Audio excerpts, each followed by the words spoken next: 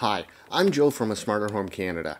I just wanted to start this video by saying that this has been one of the most useful items in my home, other than my wife. I've had a robot vacuum for a long time. I think they're great. I've had one of the original Roombas. I think I bought it for about $300 at Costco, and it was the type that just kind of bounced around the room. There was no mapping back then, and you had to turn it on manually. Just bounced around for a while till the battery went dead, and it would find its way back to its dock, and that was about it. A couple of years after that, I got myself a Deebot, and it worked okay. Deebot would just was kind of coming into the market at that time. Software wasn't that good, but it did connect up to the smart home, and I could tell Google to go release the Kraken, and it would go do its cleaning thing. Then when I bought this house, I decided it was time to upgrade once again. So I got this Shark vacuum. It's self-emptying. The map was eh, pretty decent. I could choose what rooms I wanted it to clean.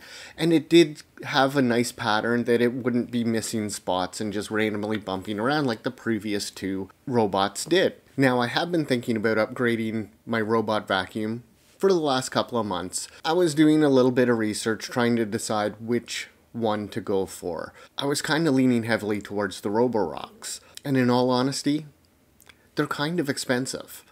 I never thought I would be paying the asking price of $18.99 for a robot vacuum. Then I was on Amazon a few days ago. The vacuum I was looking at was down to $999 Canadian, and that kind of put it in to more of the price range I'd be willing to go for a fully automated mopping, self-cleaning vacuum.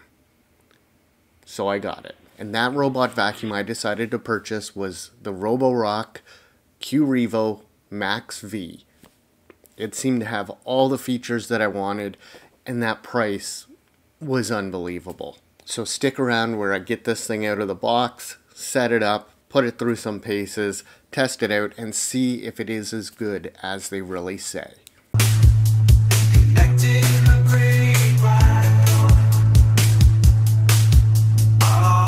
As you can see, the box is quite large, so there's no way I could do this on my table, so I had to Fred Penner myself through a log to another part of my house to be able to take this apart.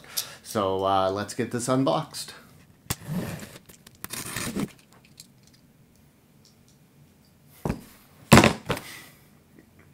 My knife just broke. Back in a second.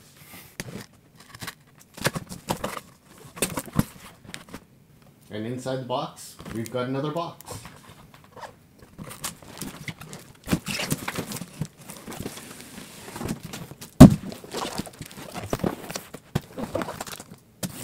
This box is fairly sturdy, so I don't know why they shipped it in a different one.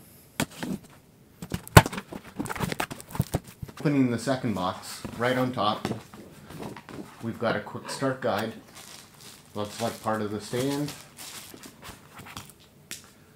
Mopping pads. Safety guide. One hesitation I did have by buying this type is the dustbin, you do have to buy new ones. I'm not a big fan of buying something that I have to buy replacement parts for all the time. It's kind of been something in the vacuum industry for ages. I guess that's just the system that they decided to go for. Power cord.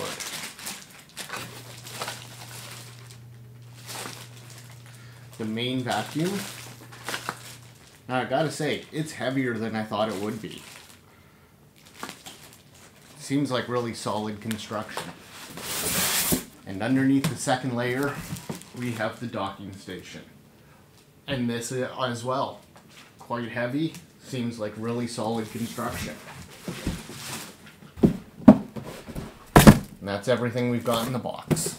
To finish setting up the robot vacuum, a few things you've got to do. Take off the packaging, Underneath the flap, you've got your bin. Now the bin, to me, does seem rather small. But since it is self-emptying, that shouldn't really be a problem. At the front of the vacuum, you have to peel this off to expose the AI camera. Seems like everything is getting AI nowadays. Howdy doodly do. How's it going? I'm Talkie.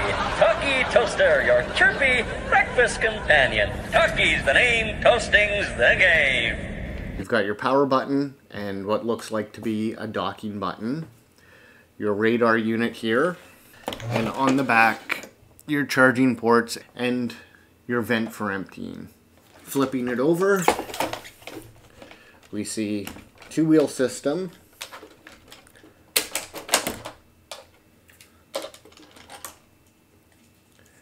your brush, and then your mop attachments back here. The mops look exactly the same, so I'm pretty sure there's not a left and a right one. Let's install those. The mops are held on by Velcro, which is not a Canadian invention as we learned last time. You also have your drop sensors. There seems to be one, two, one, two, three, four, five drop sensors. Screw this side back here, I guess. And now the robot vacuum part of this is ready to go. It's time to assemble the dock.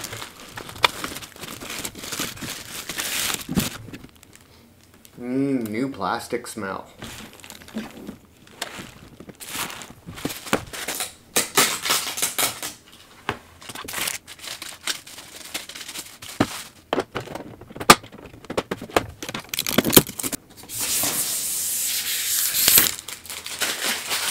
Just going by the symbols on the top,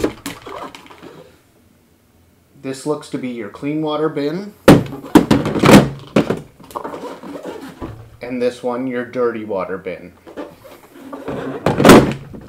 The removable front plate gives you access to the vacuum bag, which one comes pre-installed.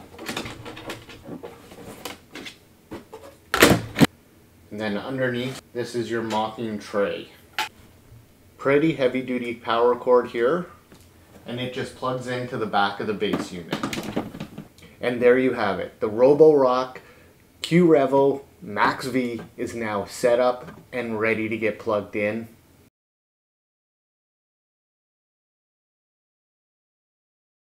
Adding the Roborock to your home network is super simple. Just like anything else nowadays with smart home, it's just pretty much click, click, click, and you're done. Just go to the App Store, get the official Roborock app, scan the QR code when it asks you.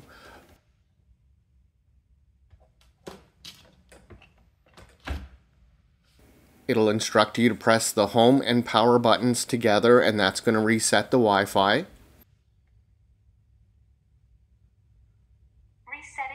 And from there, you just connect to your home's Wi-Fi and the device is now ready to use in the app. And as you can see, it's already started mapping. That's going to be the next step. For the mapping process, what I did beforehand was just went around the house, cleaned a few things up, cleaned up all the areas, made sure the uh, all obstacles were out of the way. I took the dining room chairs, put them up on the table, and then all that was left was to make myself a Caesar, press the map button, and the Max V went out and started to explore the great unknown. Coming through. Excuse me. Sorry. Searching. While the Max V was out mapping the house, I took the time to fill up the water tank. One thing that is not included but recommended with this device is a cleaning solution. Doing a bit of research, it turns out that the only approved cleaner to use with a Roborock is Omo. And this is actually by Roborock if you use something else, it could potentially void the Roborock warranty. That's how they get you. Yep, that's how they get you. I measured the tank size for the Max V and it comes in at about three and a half liters approximately. The cleaning solution suggests using one third of a capsule per liter of water, so a full cap in the tank should be right about where you need it to be. Now let's see how that map came out.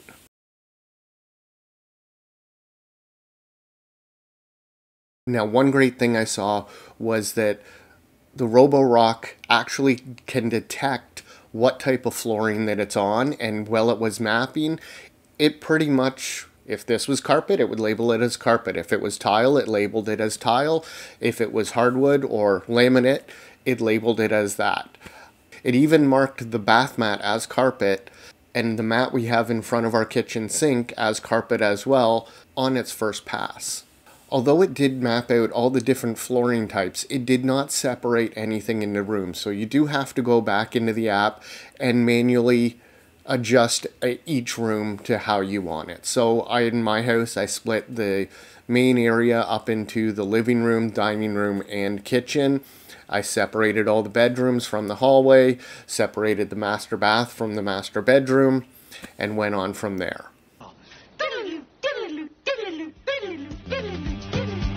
Hi, I'm Joe, and I'm just jumping into the video here to let you know that I'm going to be splitting this video into two parts. You've already been watching for over 11 minutes and I really appreciate that. But this video is probably going to go on for another 15 minutes of just straight testing and I know that's a long time to sit through. Plus, it's a lot to edit. So what I've decided to do is break this into the two videos. I'm going to shoot some more footage, uh, do some more testing, and give a full honest review of this product at the end. And I've got a few fun things planned out, so I hope you do stick around and catch the next video. It should be out hopefully in about a week. That should give me enough time to put this thing through its paces. And once again, I want to thank you for watching the video. If you liked it, great. Hit the like button, hit the subscribe button, click on the beaver when he shows up. If you didn't like the video, I don't care.